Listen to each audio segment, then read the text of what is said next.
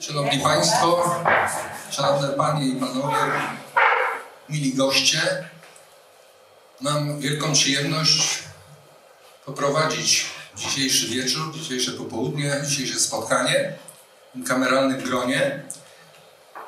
Chciałbym serdecznie, szczególnie serdecznie powitać panią redaktor Annę Tomiak, która była tak miła i przyjęła zaproszenie Biblioteki Leszczyńskiej, aby przyjechać do Leszna i opowiedzieć o swojej ostatniej książce, niezwykle ciekawej, zadedykowanej właściwie, tak mogę powiedzieć, chociaż nie jest to wydrukowane, tym wszystkim, którzy w Juracie już byli i ci, którzy po spotkaniu do Juraty się wybiorą. Trochę nomen omen zimową porą, Jurata, plaża, Bałtyk, Półwysep Helski i książka pod tytułem Jurata, cały ten szpas, czyli cały ten luz, ta wesołość, ten wypoczynek, słońce, plaża. O historii Juraty fantastycznie czyta się w tej książce. Od tej bogini, o której ta wioska, osada nad Wydmami na Półwyspie Helskim wzięła swoją nazwę, bogini Morza Bałtyckiego, właśnie Jurata, o czym autorka wspomina. Oczywiście książki nie będę streszczał, bo był to nie tak duży w stosunku do autorki i także do czytelników, którzy już przeczytali książkę, ale warto tylko wspomnieć, że jest podzielona chyba na sześć rozdziałów w ujęciu historyczno- czy chronologiczno-tematycznym. Jako historyk i dziennikarz i czytelnik namiętny powiem, że czyta się tę książkę w sposób znakomity. Czytałoby się przed spoczynkiem nocnym, czytałoby się na plaży, czytałoby się w kawiarni, ale to wszystko zależy od kunsztu, który tak wspaniale wykazała autorka i nasz dzisiejszy gość. Pani Anno, oddaję głos jeszcze raz, dziękując za obecność wśród nas. Zapraszamy. Dziękuję bardzo. To nie jest bardzo miłe, że zostałam tutaj zaproszona. Czuję się zaszczycona. Bardzo dziękuję, bo, bo z Poznaniem jestem związana. Mieszkałam w nim 20 lat i studiowałam tam na, na uniwersytecie, także to jest trochę moje miasto, no i takie moje strony, więc no i wyszłam za mąż za Poznaniaka. To jest ten związek. Tutaj o pracy. No i nawet tego Poznaniaka też przekonałam. No i nawet tego Poznaniaka też przekonałam do Juraty, bo, y, bo zanim mnie poznał, jeździł tylko w góry, bo nie uznawał morza. Ale z czasem się przekonał i już teraz też bardzo chętnie na morze od wielu lat jeździ. Mm, To, się, to, to, to można zmienić. No więc będziemy sobie dzisiaj mówić o, o Juracie, jakby na przekór y, pogodzie, którą mamy, bo jeszcze ciągle chłodno, jeszcze ciągle zima. A my sobie trochę wprowadzimy słońca, żeby nam było przyjemniej. Yy, czy wszyscy Państwo byli w Juracie? Tak. Nie? Nie byłem.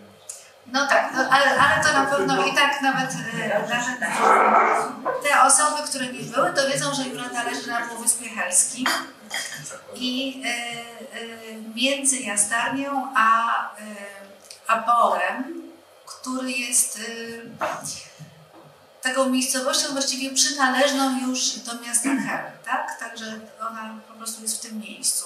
Jak jedziemy w Półwyspem, to najpierw mamy Chałupy, Kuźnica, Jastarnia i potem najmniejsza no, z tych wszystkich miejscowości, właściwie teraz to już nawet nie, chyba w tej chwili Kuźnica jest mniejsza, ale i potem jest Jurata, która jest zupełnie inna niż pozostałe miejscowości, dlatego że te wszystkie y, inne miejscowości były kiedyś y, y, wsiami kaszubskimi.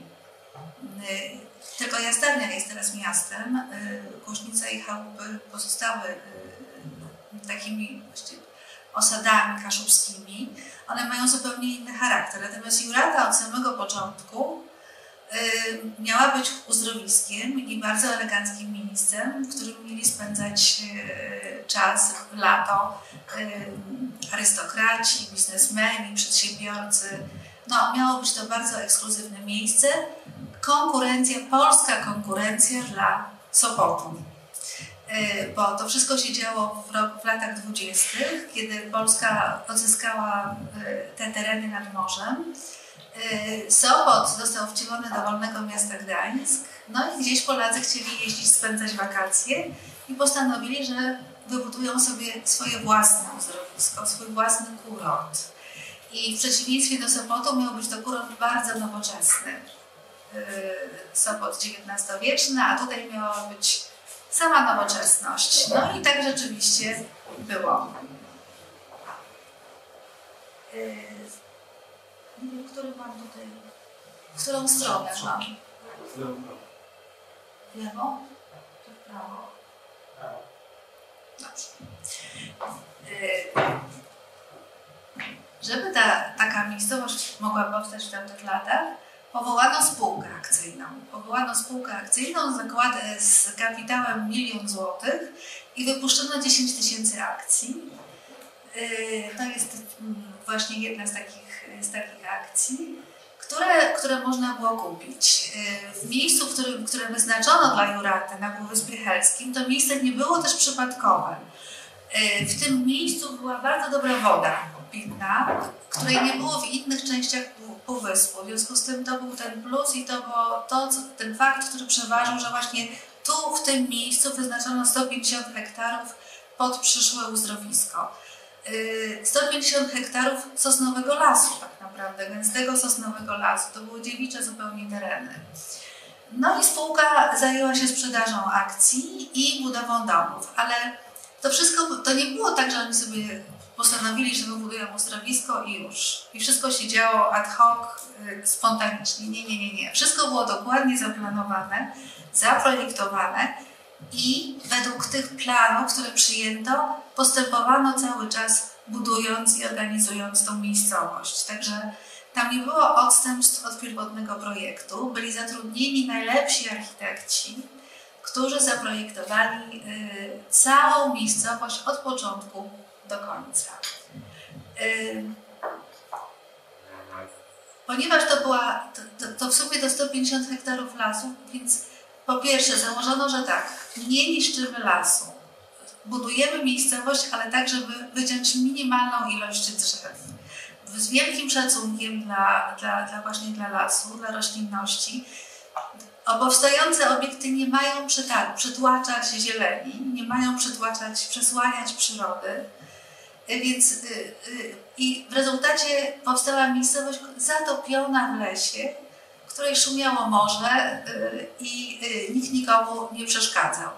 Były to domki, mówiono wtedy wille. My byśmy dzisiaj pewnie ich nie nazwali willami, ale to były domki drewniane, wykonywane w określonej technologii. Wszystkie w tej samej technologii i właściwie do siebie podobne, choć każdy był inny. A to jest plan. To jeszcze może wrócę do, tej, do, do planu, bo no to jest półwysep, czyli musimy pamiętać o tym, że to jest teren bardzo wąski, dla którego część jeszcze zajmują wydmy. Był teren przeznaczony, obszar przeznaczony na tory kolejowe, na drogę. W związku z tym no, to jest maleńka miejscowość i ona jest maleńka do dzisiaj. O układzie uliczek przesądziła, przesądził deptak, który łączył zatokę z pełnym morzem. Dzisiaj to się nazywa Międzymorze, wtedy też tak się nazywało. I od tej ulicy poprowadzono prostopadłe uliczki, przy których właśnie wybudowano te wille, o których już wspomniałam. Yy, Żaden domek nie mógł być, wy... to były wszystkie parterowe domki. Właśnie chodziło o to, żeby one ginęły w zieleni. Żaden nie mógł być wyższy niż 7 metrów. Wyższe budynki przewidziano tylko przy głównej ulicy. Ja to tak podkreślam, dlatego że jednym z powodów, dla których napisałam tę książkę, to było, żeby zwrócić uwagę na to, jak teraz to się buduje inaczej i jak się niszczy przyrodę zupełnie bezlitośnie. To jest właśnie jeden z takich domków. Taki śliczny domek. Yy, nazywane willą. One wszystkie były drewniane, przewożono drewniane bele. Wypełniano szpary między tymi belami tak, takim wapnem zmieszanym z. Potem szalowano, czyli okładano deskami, okładano papą i tynkowano. Okazało się, że ta technologia była bardzo y, fajna i długotrwała, bo wiele z tych domków przetrwało czasy wojny i stałoby do dziś, gdyby nie zjawili się deweloperzy. Y, najpierw, gdyby w PRL-u nie postanowiono w ich miejscu wybudować ośrodków FWP, a potem, gdyby nie pojawili się deweloperzy w latach 90. i po prostu y, wykupywali działki, roz, rozbierali te domki i, stawiali, i postawili w tym miejscu apartamentowce, ale to już jest późniejsza historia. Przed wojną to właśnie było tak. Cała Jurata składała się z takich domków. Tu jest jeszcze jeden taki domek, już nieistniejący. I ten taki ładny. Wszystkie były w tym samym stylu, ale każdy inny. I w tych domkach y, mieszkali y, przedsiębiorcy. Mieszkał pan Wedel na przykład, który tam sobie domek nad Zatoką y, też postawił. Mieszkali politycy, minister Beck między innymi. No i jak przyjechał do Juraty w 1937 roku prezydent Mościcki, to jego rezydencja prezydencka, jego domek, jego willa, specjalnie dla niego postawiona, też była mniej więcej taka. Wcale nie inna, wcale nie ogrodzona wysokim płotem. Absolutnie, właśnie coś podobnego. Zresztą będziemy ją mieć na zdjęciu. Yy, jeden, jedyny dom przy ulicy Ratibora miał takie pięterko. Należał do pana Panenko, który był cukrownikiem, właścicielem wielu cukrowni, bardzo bogaty Polak. I ten dom przetrwał do dziś i, i, przy tej ulicy. To są właśnie Państwo Panenko, właściciele tego domu. A to jest, y, ponieważ tak jak powiedziałam, to było y, nowoczesne uzdrowisko, więc było wszystko, tak? Y, te domki, chociaż drewniane, to były świetnie wyposażone. W jednym z nich właściciel w swojej książce pan Stawrowski opisuje, jak to rodzice, jego rodzice zamówili sobie wannę wpuszczoną w podłogę. Jak to w łazience była terakota biało-czarna, w kuchni piec kaflowy, no, one to były bardzo wygodne domy. Wyposażone właśnie we wszystkie możliwe wtedy Wygody. Wygody. No i też były telefony, były też telefony. Domki miały telefony, tu mamy stronę z przedwojennej książki telefonicznej i są numery w Juracie dwucyfrowe. Tak? Na przykład pan Sałata miał swoje przedsiębiorstwo ogrodnicze na skraju Juraty i do niego dzwoniono, żeby przywiózł towar i on przywoził owoce, warzywa do domu. Wystarczyło wykręcić dwa numery. Mm, także mm, umawiano się na brydża, na pokera, y, na tenisa, którego przed wojną też rozgrywano w Juracie, właśnie już drogą telefoniczną. Także to też świadczy o tym, jak o wszystko tam zadbano. To przeszło do historii, ta cała budowa uzdrowiska przedwojennego też pisały nawet ówczesne gazety o tym, że wszystko tam się odbywa tak bardzo rozsądnie, bardzo logicznie zbudowane. Na przykład zanim otwarto, wybudowano i otwarto restaurację, to wybudowano chłodnie i sprowadzono maszynę do produkcji lodu. Czyli wszystko było w logicznej kolejności.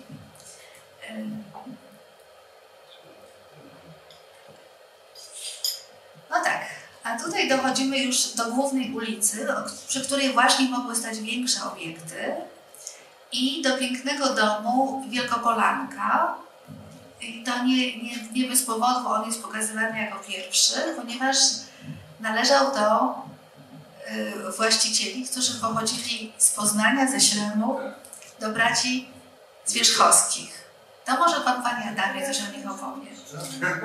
Nie, ja mam żadny głos, tak? tak? Ale chwilkę, tylko, bo jak się rozgadam, to... Proszę Państwa, przepraszam bardzo, że, że tak żeśmy się po cichu mówili, że kilka słów tylko powiem, bo to jest ciekawe i ważne, moim zdaniem. Bo warto tu podkreślić, że no, te wszystkie rezydencje, zwane willami, w Juracie, no one były dosyć kosztowne i drogie. Także ci inwestorzy prywatni, no to byli zasobni ludzie. Przede wszystkim przemysłowcy, aktorzy, o, świat artystyczny, bo i Wojciech Kosak tam, prawda, miał swoją, swoją rezydencję. I między innymi yy, wybudowali tam sobie Wielkopolankę, właściwie nie tyle dla siebie, a mm, jako pensjonat, a więc miejscami do noclegu, z małą restauracją czy jadłodajnią, bracia zwierzchowscy, którzy pochodzili, urodzili się w Śremie, mianowicie Stanisław Zwierzchowski i Władysław Zwierzchowski. Yy, Stanisław Zwierzchowski mm, był profesorem od pomp i silników wodnych skończył studia w Berlinie, potem wywędrował do Stanów Zjednoczonych, tam był wybitnym konstruktorem tym urządzeń. Urodził się w Śremie w 1880 roku, tam skończył gimnazjum.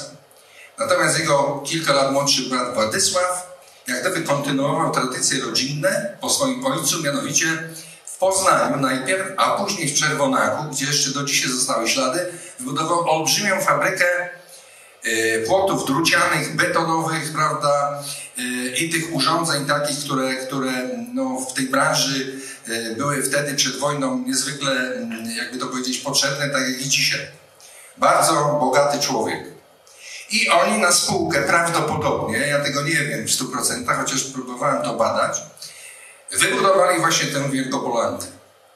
I żeby skrócić tą rozmowę, moje wystąpienie, czy moją dygresję, Powiem, że w tej Wielkopolance, kiedy miałem, nie wiem, 12 lat, po raz pierwszy byłem w Juracie i tam spałem z ciotką, z kuzynkami. Yy, niesamowite przeżycie. Potem byłem jeszcze raz, jak pojechałem nad morze autostopem, to już była inna Wielkopolanka, bo o czym tutaj yy, szanowna autorka powiedziała, to wszystko zostało, jakby to powiedzieć, upaństwowione, tak w cudzysłowie rzecz biorąc, Orbis, nie Orbis, inne instytucje i troszeczkę to przerobiono. Natomiast ciekawą jest rzeczą, że kiedy Stanisław Zwierzchowski był później, bo przyjechał w okresie międzywojennym do Warszawy, został zaproszony, żeby stworzyć katedrę silników i pomp na Politechnice Warszawskiej i przez cały okres międzywojenny właściwie mieszkał w Warszawie ze swoją rodziną.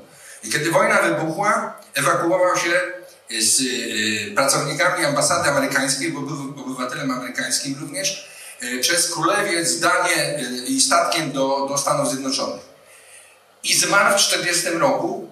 I proszę sobie wyobrazić, że rodzina wynajęła adwokata, żeby w Stanach Zjednoczonych, żeby w stosunku do władz niemieckich, które zarekwirowały tę Wielkopolankę i również dom na ulicy Filtrowej w Warszawie, Zwierzchowskiego, i odbywała się sprawa przed y, sądem niemieckim w Warszawie. Nie wiadomo jak się skończyło. O tym pisała bardzo szeroko prasa amerykańska, bo Zwierzchowski w Stanach Zjednoczonych był bardzo, bardzo no, y, y, w związku ze swoją profesją, był, był wykładowcą na jednym z wielkich uniwersytetów w Michigan.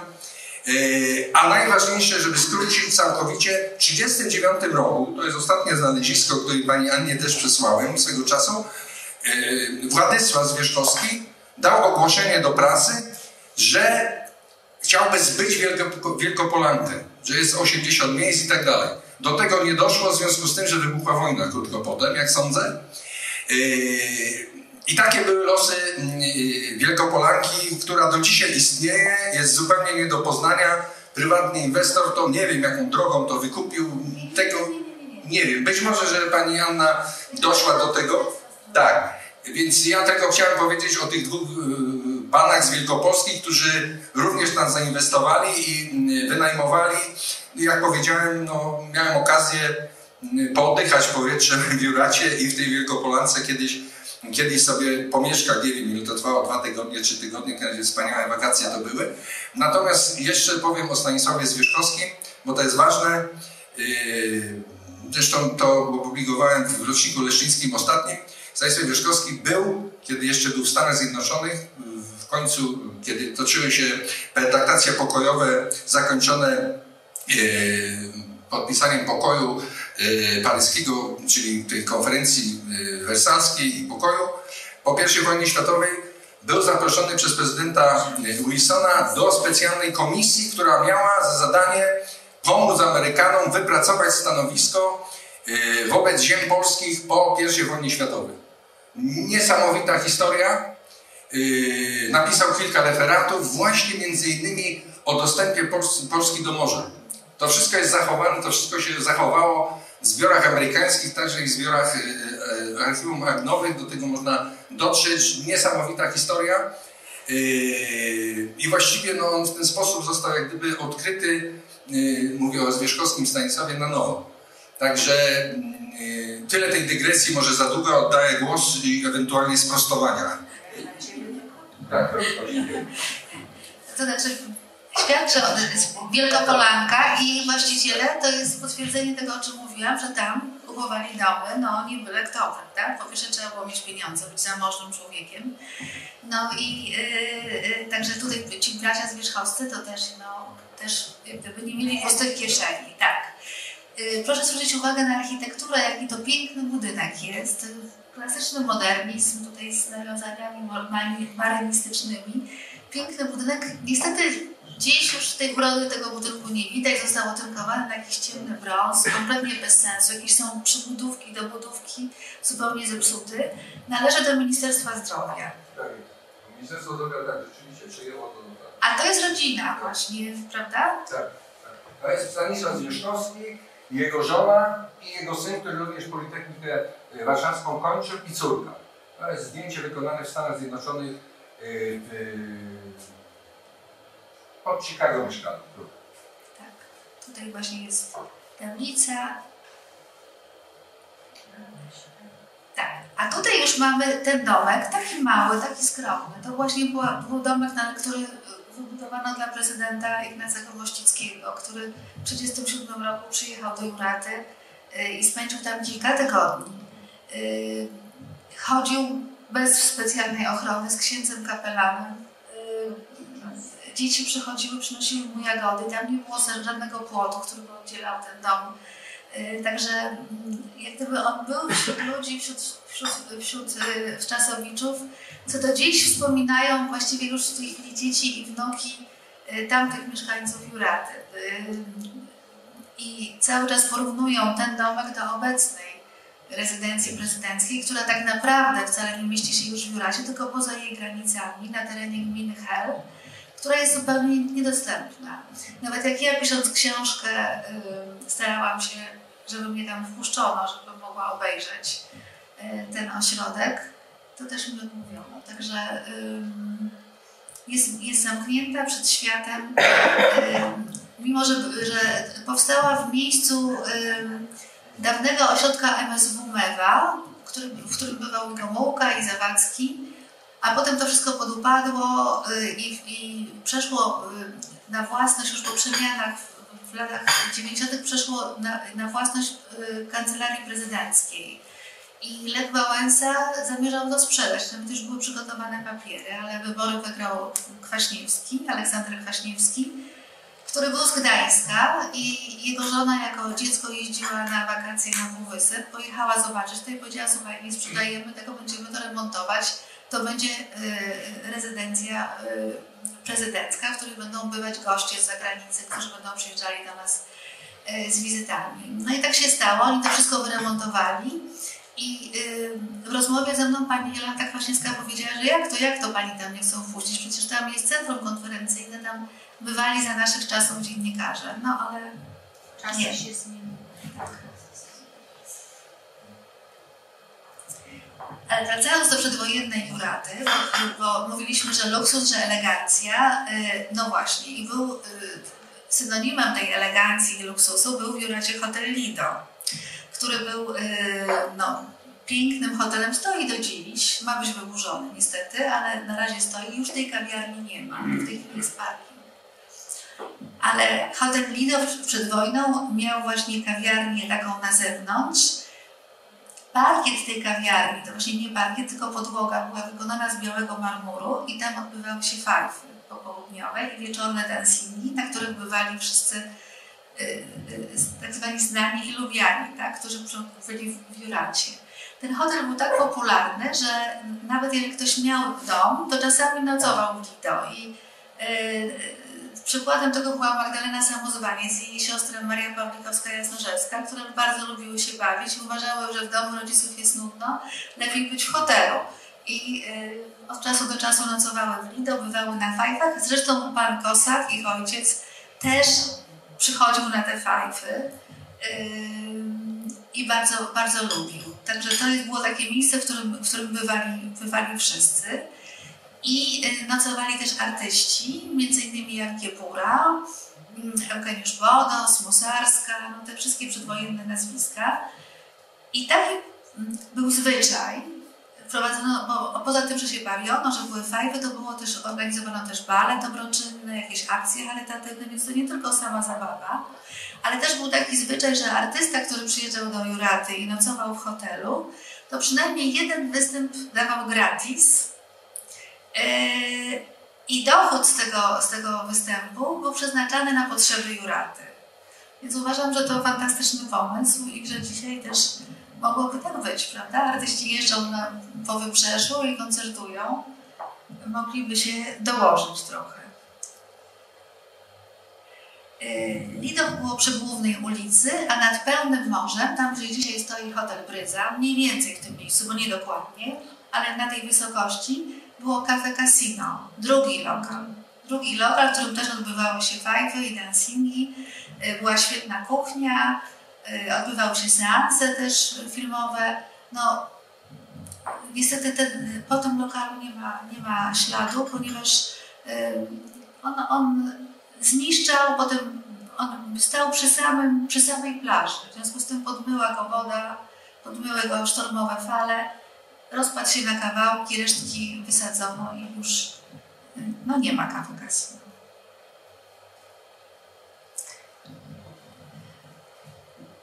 Oczywiście y, Jurata się reklamowała. Reklamowała się wśród ludzi, którzy mogliby przyjechać i kupić tam dom czy działkę, a także wśród chętnych, y, którzy chcieliby skorzystać z hoteli czy z pensjonatów, które tam istniały. I takie, y, takie reklamy ukazywały się w prasie.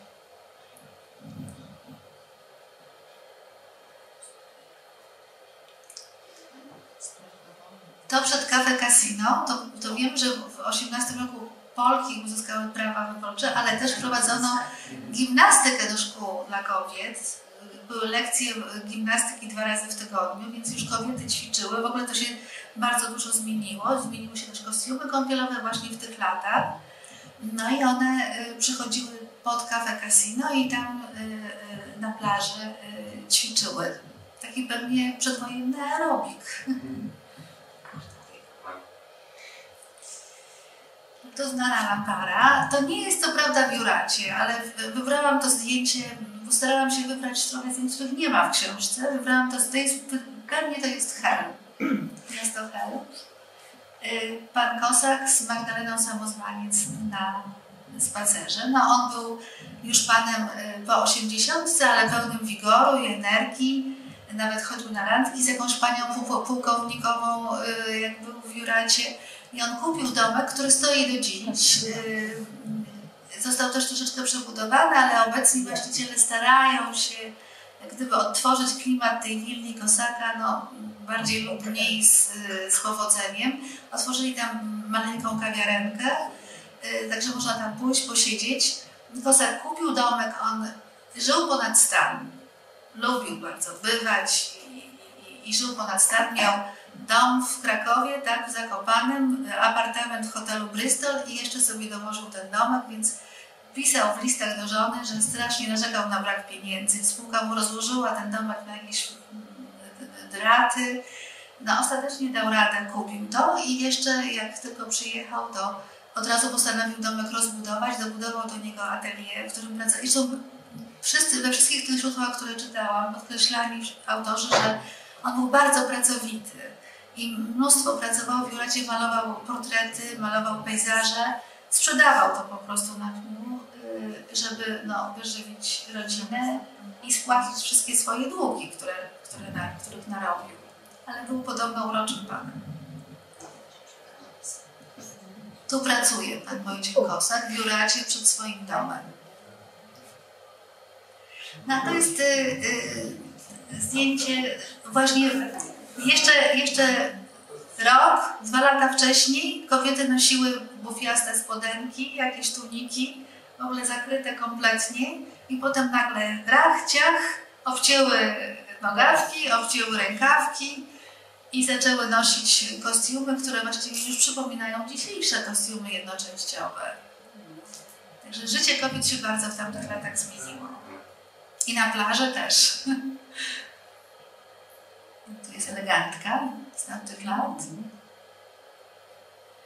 Tak, no plaża, y, w książce jest zdjęcie obecnej plaży w Juracie, która została y, zorganizowana na wzór amerykańskiej pla- plaży, takiej, y, którą dzisiaj się uważa za, za bardzo elegancką. Są takie drewniane łoża z takimi zasłonami, jest bar. No, zobaczą Państwo, to zupełnie inaczej wygląda, a tak było przed wojną. Y, Moim zdaniem cudownie, to był deptak, a y, na plaży były kosze i te kosze, jak się przyjeżdżało do Jurady, to się wynajmowało kosz na całe lato. Ja zawsze o tym pamiętam, dlatego że też pamiętam ze swoich y, lat, jak moje dzieci były małe, jak po prostu objuczona jak wielbłąd szłam na plażę, bo wszystko trzeba było nosić. Materacy, wiaderka, foremki, piłkę, no, y, ręczniki, nie wiadomo co, tak, parawany.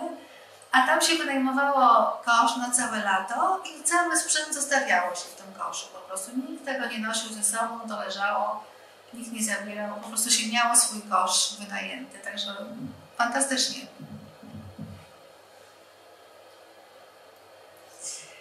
No, to już wychodzimy z czasu przedwojnia, to są lata y, późne 40.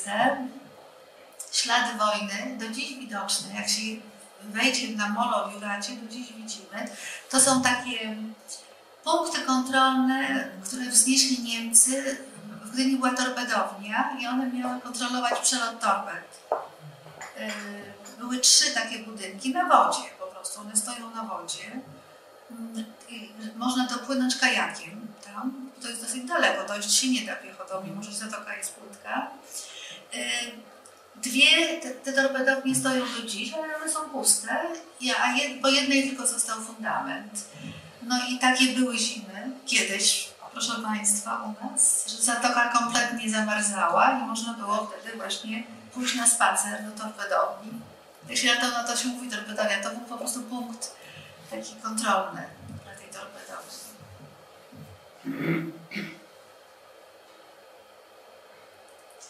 A to jest Stara Bryza. I ta e, Stara Bryza wzniesiona przez Edwarda Gierka e, powstała w miejscu, w którym przed wojną były łazienki. Był gmach łazienek. To też e, było w planie spółki, w której, w której miały być baseny z, podgrzewaną morską wodą. Tak? Także takie, takie chodziło o, o leczenie morską wodą. Tak. Y, Te łazienki też się nie, znaczy one, no, fragmenty ich jeszcze stały podobno w latach 50., ale potem to rozebrano i w ich miejscu postawiono bryzę. I ona ma taki kształt jak ten budynek łazienek przedwojennych. Taki miała, tak? Bo to już też dzisiaj wygląda inaczej. No i na to, to, to było wtedy bardzo, bardzo luksusowe, y, luksusowy obiekt. Przyjechał Edward Gierek ze z małżonką na otwarcie, y, salonką, y, ale, ale oni nie bywali w Juracie, oni y, bywali w Spale, nie przyjeżdżali do Juraty. No i niestety z Bryzą jest związana taka smutna historia, że ponieważ no, chodziło o to, żeby to było eleganckie miejsce, otoczone ogrodem i w ogóle, żeby też wszystko tam było co trzeba, więc architekci nie przejmując się y, tym, jak zaplanowano Juratę przed wojną, żeby otoczyć tą bryzę takim ogrodem, jak sobie, jak sobie wymyślili, przesunęli bieg ulicy y, w prawo. A to była ulica Międzymorza, o której wspomniałam na początku, która łączyła morze otwarte z zatoką. I stojąc plecami do morza, widziało się wody zatoki. I to o to chodziło. Tak był taki fantastyczny efekt. A jak oni przesunęli ten kawałek między morza, no to już tego efektu nie ma, bo stojąc plecami do morza widzi się co? No, parę sosen i jakiś tam y, bar. Więc no, zepsuli ten zamysł przedwojenny. Ale Bryza, która potem bardzo podupadła, y, y, została kupiona przez państwa niemczyckich i dziś jest jednym z najbardziej luksusowych miejsc na wybrzeżu. Bryza stała po stronie morza otwartego, natomiast idąc między morzem w stronę zatoki, dochodziliśmy do hotelu Neptun, który z kolei powstał dla KC PZPR.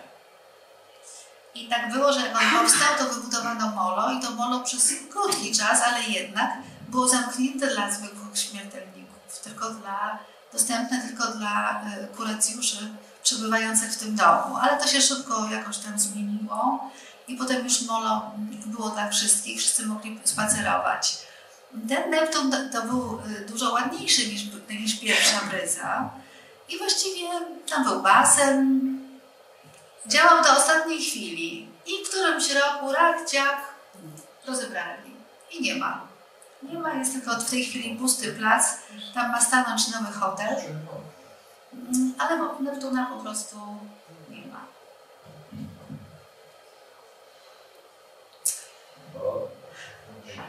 Ktoś pamięta? Palomę? tak.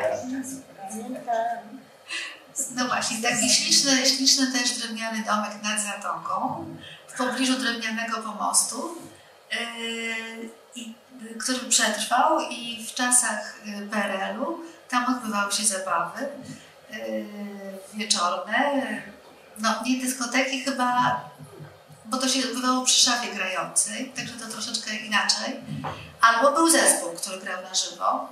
Yy, w każdym razie chodziła tam cała młodzież yy, i świetnie się bawiła. To należało już do EWP, to już nie była własność prywatna. To były te czasy, kiedy te piękne pensjonaty, bo tutaj nie wszystkie pokazałam na zdjęciach, ale były też inne biuracie prywatne, przeszły na, no, zostały upaństwowione. W jednych były zorganizowane w czasy WB, w innych w czasy orbisowskie, ale właściciele potracili te, te, te swoje domy i to w bardzo brutalny sposób, bo bardzo było wiele takich przypadków, że kazano im po prostu się wyprowadzić z takiej sutereny, nagle musieli mieszkać w jednym pokoju, z jakąś małą kuchnią, a na to, co się działo w pozostałej części domu, już nie w ogóle nie mieli wpływu. Także to były bardzo smutne czasy. No ale w tych smutnych czasach y, na pół, Półwysep jednak był piękny, przyroda Półwyspu zachwycała i zaczęli przyjeżdżać tam aktorzy. I oni najpierw zaczęli przyjeżdżać do chałup. Chałupy były wtedy taką cichą bardzo wsią, nikogo tam nie było, więc y, upodobali sobie to miejsce, bo nikt im nie przeszkadzał. Tam mogli sobie siedzieć bez, bez gapiów. Y, przyjeżdżał Andrzej Łapicki, no właściwie wszyscy. Andrzej Łapicki, Agnieszka Osiecka, Ewa Wiśniewska, no kogo by tam nie wymienić, właściwie wszyscy. Andrzej Łapicki mówił, że kto nie bywa w chałupach, ten nie liczy się towarzysko. Tak, takie było powiedzenie. W związku z tym bywali wszyscy, którzy, którzy, którzy y, byli znani i lubiani w tamtych czasach, także Kalina Jędrusik, która potem po latach, kiedy y, w chałupach y, powstała plaża nudystów i Wodecki śpiewał chałupy Welcome to i zaczęły tam wjeżdżać tłumy, dziś tam naprawdę są tłumy, to aktorzy stamtąd uciekli, bo stwierdzili, że to im w ogóle nie odpowiada, a ci nudyści to już w żadnym wypadku. I był taki żart, że na plaży nudystów to jedynie dobrze czuje się właśnie Kalina Jędrusi, która ma świetną talię, a cała reszta absolutnie nie. Yy, no i oni wtedy przenieśli się do Juraty. To był początek lat 80., bo Jurata wtedy właśnie była cicha i spokojna, yy, nie było młodzieży, bo w Juracie nigdy nie było dyskotek i właściwie młodzież do Juraty nie ciągnęła, raczej gwiazdarni bawiła się. A, a w Juracie raczej nie, bywało starsze towarzystwo albo matki z małymi dziećmi. I im to odpowiadało i oni się wtedy przenieśli do Juraty. Kalina Jędrusik też. w Juracie powstały wczasy y, dla odchudzających się i ona jeździła właśnie na te, na te wczasy do Juraty. A to jest y, Adriana Godleska-Młynarska, żona Wojciecha Młynarskiego, y, która... y, Państwo młynarscy bywali w Jastarni przede wszystkim, ale do Juraty też jeździli właśnie z powodów towarzyskich. W Juracie była oprócz Palomy kawiarnia Honoratka, którą pani Adriana bardzo lubiła, tak mi powiedziała, i tam w tej honoratce przesiadywała, że oni tam się wszyscy spotykali, y, razem pływali kajakami i, i przesiadywali w ogródkach, bo skąd się wzięła? To była też tradycja jeszcze wyniesiona z przedwojnia, że te domki parterowe, każdy z nich miał jakiś taras, miał ogródek. I w Juracie był taki już przed wojną zwyczaj, że jeżeli się spotykali y, przyjaciele, żeby sobie pogadać, to właśnie na tarasach albo w ogródku. I, i y, nie w środku domu, tylko i, i stąd te przyjęcia na tarasach, które przetrwały i po wojnie, jak aktorzy jeździli już do wynajmowanych pokojów w tych domkach, to właśnie spotykali się na tarasach. Mm, y, Zresztą tak jest do dziś. No i tu jest takie zdjęcie y, y, z przyjęcia ogródkowego właśnie aktorów. Taki żart. Ewa Wiśnińska i pan Dziwoński urządzili swoje zaręczyny, tak na niby. I włoży, Dziwoński dostał depeszę od Gorbaczowa z najlepszymi życzeniami i tak dalej, i tak dalej. No i tutaj różne znane twarze. Tu jest Jan Englert, Wojciech Młynarski, innymi Andrzej Łapicki, to jest chyba Aleksandra Śląska, prawda? Tak, także tutaj y, oni, i to oczywiście wszystko jest w ogródku, oni się tam świetnie bawią, oni się y, przebierali i, i to zdjęcie dostałam od żony pana Dziewońskiego. Uważałam, że to po prostu, i u niej to zdjęcie wisi w salonie. Myślę, że to bardzo świetnie świadczy o żonie. tu mąż w towarzystwie właśnie takiej pięknej aktorki. A to jeszcze inne, tak, inne przyjęcie już na tarasie. Tak, Holubek Magda Zawadzka, Andrzej Szczerkowski, tak, tu Chris Midenthal, fotograf znany. Y, No i to jest właśnie też jeden z tych domków, które, które przetrwały. I, tak jak mówiłam, konstrukcja, choć drewniana, okazała się bardzo trwała. Te domki mm, świetnie się mają, które zostały. To też zabawa.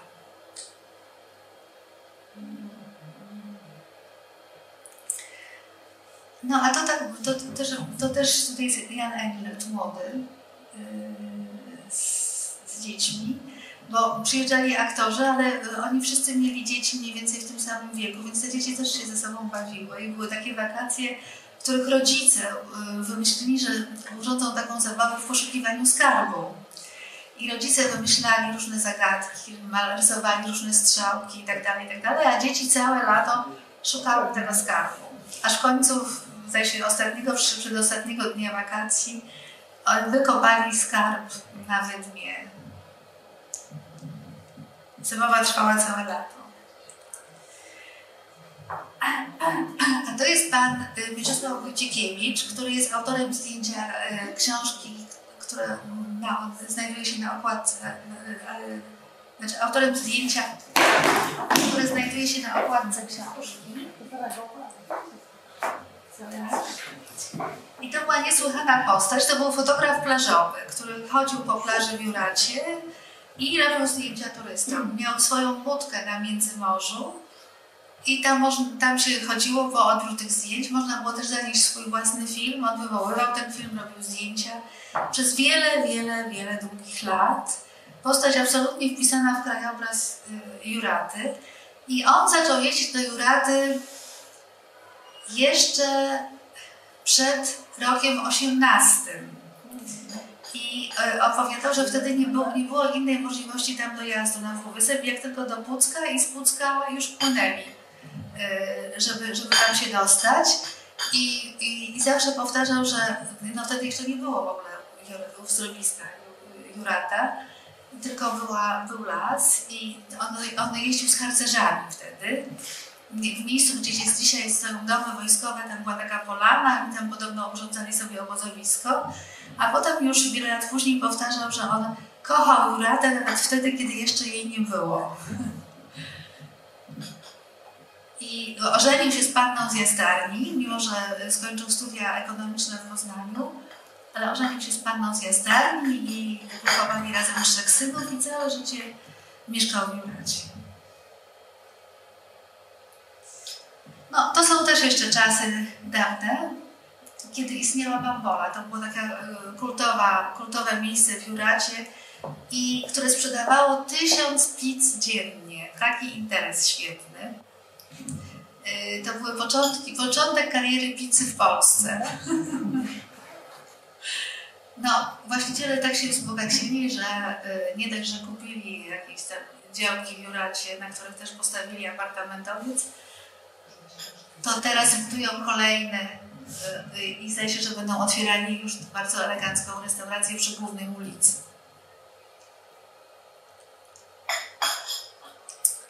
A to jest jeden z przedwojennych domków, który przetrwał w Juracie. Już on stoi po stronie pełnego morza.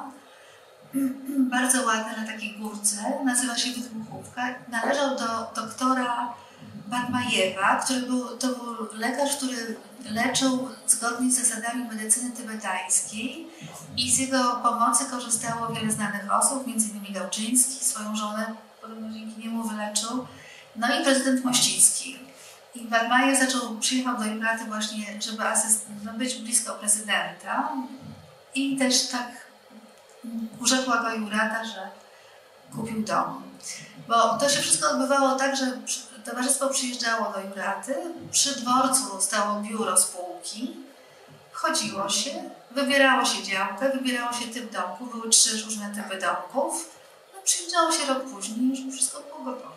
Tylko wystarczało, wystarczyło zapłacić. A to już jest współczesna Jurata i to, o czym mówiliśmy, o tej e, rezydencji prezydenckiej, no więc jej, no, no nie bardzo ją widać, natomiast widać tą wieżę którą wzniósł Aleksander Kwaśniewski, no to nie jest latarnia, tylko to jest wieża, w której się mieści e, spa, takie, e, e, też, też sala konferencyjna, tego typu pomieszczenia. Sam prezydent wymyślił, wpadł na pomysł, żeby tam powstała taka wieża, która będzie jednak wyrastała ponad las, która będzie symbolem tej rezydencji, będzie widoczna z daleka. I to jest zdjęcie zrobione z mola w Juracie, bo to nie jest molo razie, to jest takie ma, maleńkie przy, przy domu wczesowym. Molo jest bardziej w tą stronę. Także ona rzeczywiście jest widoczna i wieczorem oświetlona. Symbolizuje obecną rezydencję. No, dzisiaj Jurata dla kogo? Nadal nie ma tam dyskoteki, także ta młodzież taka tańcząca hip-hop to tam nie, nie, nie. Ale za to jest dużo młodych ludzi, bo, bo oni przyjeżdżają na windsurfing. Tych szkółek windsurfingowych nad Zatoką jest teraz cały szereg. I to przyciąga młodzież. No, to jest właśnie już współczesne zdjęcie. No i zamiast drewnianych domków mamy tak zwane apartamentowce. Już teraz się nie mówi, że ktoś ma mieszkanie w Juracie. Nie, teraz w Juracie się ma apartament. Yy, I yy, stawiane są yy, rozmaite domy. To jest jeden z bardzo udanych projektów bardzo ładny, tak zwany pięciowak. To jest taki szereg, raz, dwa, trzy, cztery, jest ich pięć. Trzy, cztery, pięć. Pięć takich segmentów y, z apartamentami z widokiem na, na zatokę. Stoją dosłownie nad brzegiem zatoki w pierwszej linii. I ponieważ się składa z pięciu segmentów, a architekci nie mogli wpaść na pomysł, jak to nazwać, aż w końcu ktoś do nich podszedł, jakiś robotnik z Juraty i mówi a, to taki pięciobak, tak? No i tak zostało. I teraz nikt o tym inaczej nie mówi, jak tylko pięciobak, ale to jest bardzo y, luksusowe miejsce. To też jest przykład y, apartamentowca. No, to jest coś, co się w tej chwili buduje i zdaje się, że już na to lato będzie gotowe. Też w pierwszej linii nad Zatoką właśnie takie szklane domy powstają już nie mają nic wspólnego z tamtymi domkami, które oglądaliśmy na początku. Zupełnie inne czasy i inne gusty.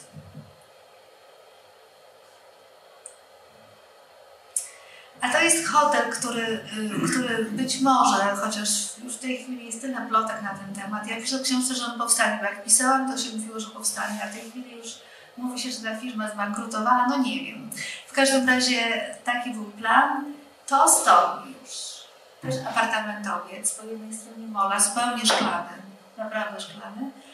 A to ma być hotel, który ma tak się bić jak wąż, po to, żeby każdy pokój miał widok nad, na, na, na wodę. Bardzo luksusowy, pięciogwiazd, pięć, pięć gwiazdek plus, yy, z dużym centrum konferencyjnym, czynny cały rok. Wielka konkurencja dla bryzy. No zobaczymy, czy w ogóle powstanie. Na razie jest puste pole tam. Tak będzie wyglądał od strony, yy, od strony mola. I tutaj oni zaplanowali, tutaj poza to się, tu jest ten taki niski, który tak się wije, a to ma być taki, y, taki żagiel przy samym molo, wysoki, który też będzie widoczny y, y, po wyjściu z portu w Gdyni, czyli z daleka symbol Juraty z kolei. Ale to na razie na papierze jest tylko.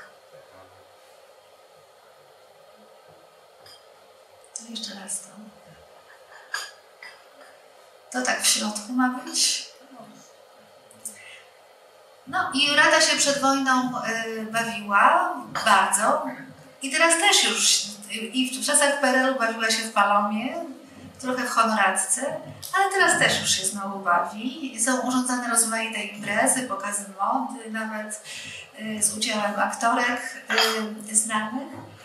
I przede wszystkim są urządzane urodziny Juraty. I, i, I z okazji urodzin Juraty zawsze są jakieś niespodzianki. Kiedyś wprowadzono którymś razem lokalne pieniądze, y, a innym razem znowu wypuszczono takie y, y, konserwy. Tak.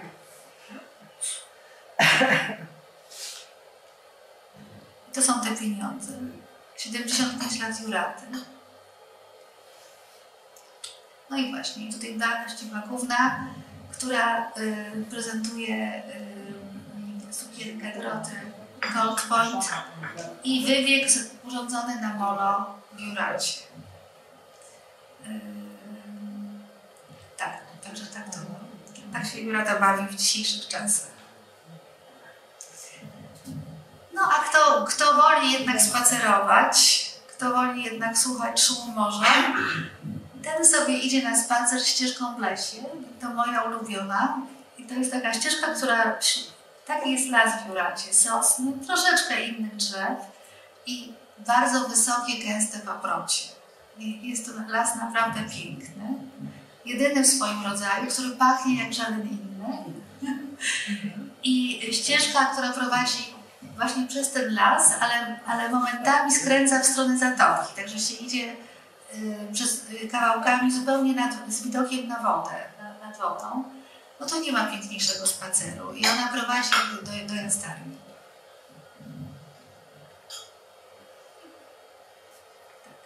Tak, to już wszystkie zdjęcia.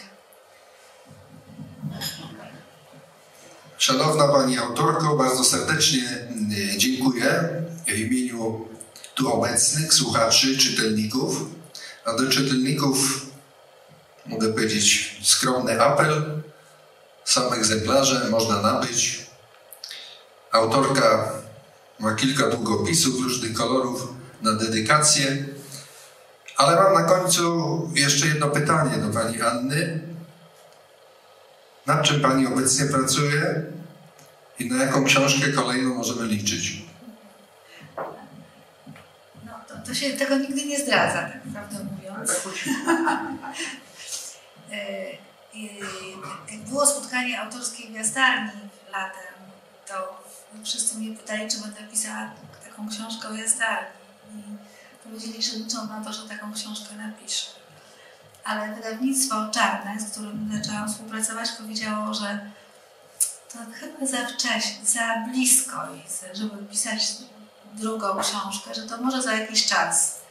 A żebym teraz napisała książkę o innych uzdrowiskach no i tak się zastanawiam nad tym, bo yy, ja napisałam Juratę, o Juracie nie bez powodu, dlatego że sama tam jeździłam od dziecka, prawda? I, i, I też jestem emocjonalnie związana z tym miejscem. Innych uzdrowisk właściwie nie znam. Także jeszcze zastanawiam się nad tym. Czyli słodka tajemnica jeszcze na jakiś czas. Dziękujemy bardzo. E, Szanowni Państwo, bardzo serdecznie w imieniu głównego organizatora, czyli Biblioteki imieniem Stanisława Grachowiaka w Lesznie, serdecznie Państwu dziękuję za obecność na e, dzisiejszym spotkaniu, a Pani Annie Tomiak najserdeczniej również dziękuję, że pozwoliła nam dzisiaj pooddychać trochę jurackim mikroklimatem i wyobrazić sobie plaże, na które być może latem się wybierzemy. Bardzo serdecznie dziękuję, Kłaniam się i do widzenia. Do następnego spotkania z nową książką. Dziękuję bardzo.